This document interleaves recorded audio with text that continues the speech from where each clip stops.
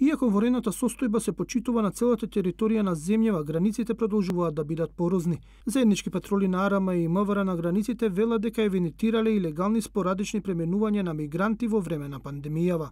Подполковникот на Арама Тони Јаневски вели дека бројот е минимален и далеку од високите бројки на бегалци. Бидејќи сепак армијата се наоѓа во подршка на граничната полиција во изведување на овие активности, немаме забележано никакви забележителни отстапувања од оние вообичаени, да би рекол, нелегални поминувања, така да во последниот период се евидентирани минимални, што би можело да се каже дека се помали од вообичаеното поминување на државната граница но мигрантите кои влегуваат на нашата територија остануваат на неопределено време поради општата пандемија со коронавирусот. Освен илегалното влегување, тие се потенцијална опасност за пренос на болеста COVID-19.